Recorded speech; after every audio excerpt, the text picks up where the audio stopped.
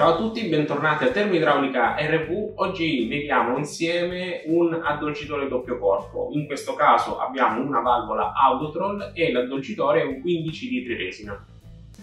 L'addolcitore è un classico sistema appunto di addolcimento che in questo caso è un doppio corpo. Che cosa significa doppio corpo? Vuol dire che la bombola in vetroresina che contiene le nostre resine, in questo caso 15 litri, è separata rispetto al vano dove noi andiamo a mettere il sale, quindi a creare la salamoia. Poi attraverso un tubo che parte dal nostro eh, sistema eh, di salamoia arriviamo alla testata dell'addolcitore e questa salamoia serve per effettuare la rigenerazione delle resine e quindi a consentire all'addolcitore di effettuare il suo lavoro, cioè quello di addolcimento, di abbattimento del calcare.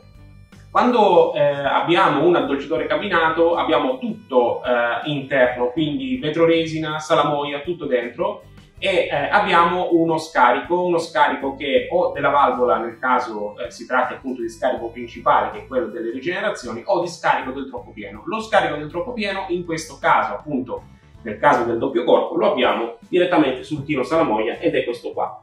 Va collegato sempre all'uscita, quindi alle acque grigie e, e interviene soltanto in cui eh, ci sia un troppo pieno, quindi un eccesso di acqua che vada appunto scaricato per evitare allagamenti.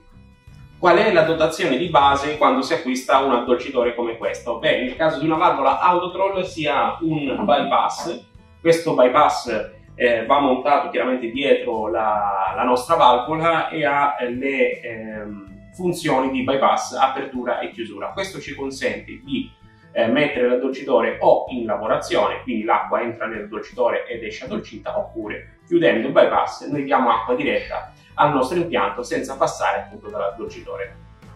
Altra dotazione di base sono i connettori. Questi connettori sono eh, da un pollice, si innestano dietro il bypass e vanno appunto collegati in ingresso e in uscita nel nostro impianto domestico.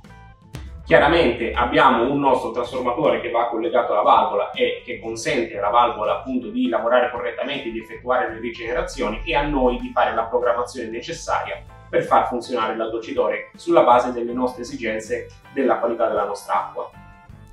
Ogni addolcitore è chiaramente fornito di un suo manuale, eccolo qua, nel caso eh, della nostra Autotroll, e eh, ogni addolcitore doppio corpo è dotato anche di questo tubo che è il tubo che viene collegato poi allo scarico eh, del nostro addolcitore e che va poi convogliato nelle acque grigie come abbiamo detto prima. Passiamo agli optional. Qual è l'optional principale? È questo qua, il produttore di cloro. Il produttore di cloro serve per sanificare le resine a ogni rigenerazione. Viene installato lungo questo tubo che porta la salamoia dal tino salamoia alla nostra valvola e grazie all'elettrodo di titanio è in grado di separare NaCl appunto il uh, cloruro di sodio liberando cloro e sanificando le resine al suo interno. Altro optional non meno importante è il bicchiere e un filtro in fila avvolto. Questa è una prefiltrazione che ci consente di abbattere la sedimentazione presente nell'acqua prima dell'addolcitore, quindi preservando l'addolcitore e le resine all'interno, evitando quindi che ci possano essere dei problemi legati alla sporcizia presente nell'acqua.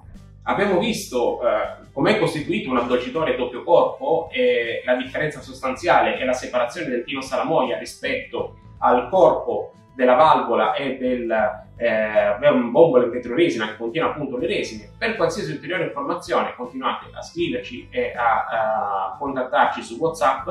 Io sono Pasquale e ci vediamo al prossimo video. Ciao!